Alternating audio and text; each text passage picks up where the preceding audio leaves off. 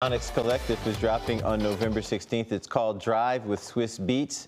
And this morning, hey, we're going to do it right now, live from Los Angeles, California. Swizz Beatz and his son, Nasir Dean. To both of you guys, what's happening? How you doing? What's How you going doing? on?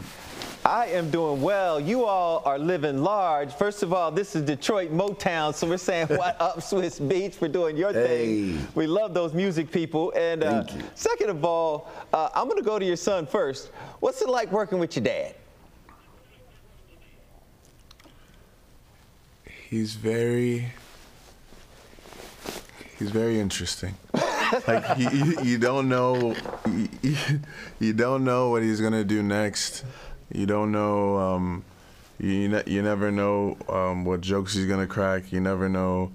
Um, he's very unpredictable, and I, I feel like that's a very very um, fun part about working with my father. He's he's he always has that uh, the element of surprise is it's, it's always and it's always in a positive manner. So it's it's, it's really fun. I, I like how you measured your words before you spoke them, young man. I appreciate Thank that. Uh, let's talk to Dad for a second. Swizz Beatz for a second. I know I was watching the the preview of this show, man, and I know it means something to you. Not only what Drive symbolizes as it goes through different. It's really a, a little bit of culture, a little bit of history, but you also get to do it with your son.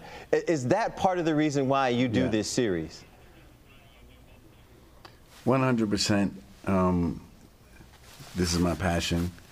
Uh, my kids. Um, drive is my passion as well. Cars.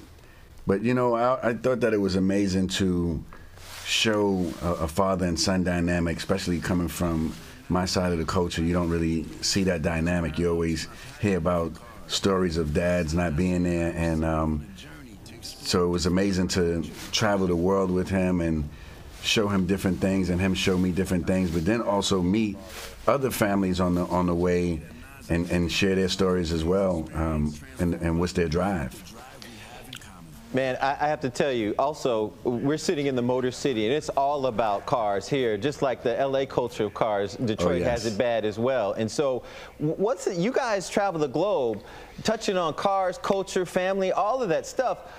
What was it like with the rides in Saudi Arabia? It was literally mountains on a 90 degree axis. Like you're going straight down. There's no, it's not, it's like a real, like, it's like you're in a roller coaster in a car on a sand dune mountain. And, and, and it's, uh, it's pretty radical. You see, you see these people, they're, they're so fearless.